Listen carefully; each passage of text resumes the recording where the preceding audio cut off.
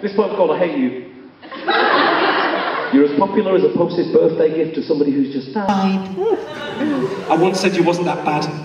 I lied. You're a conversation number, your presence sticks lips together. Why is it when your name is mentioned there's a sudden change of weather? You're a lift to a claustrophobic, a witch to a priest, you're gushy and gooey. You're my release. I wouldn't be a bell ringer with a face like that. Here, see how hard you can headbutt this cricket bat. How can we discuss the meaning of life when you don't deserve it? It's a bad habit, that breathing.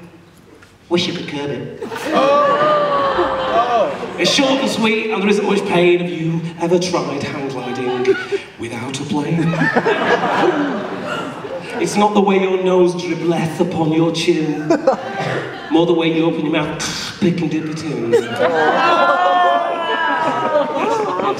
It's not the way you drop the food in the pouch of your pants, more the way you try and lick it off at the restaurant. It's that kind of maturity of vision that I'm looking for in my work. to share with the people. By the way, I do workshops.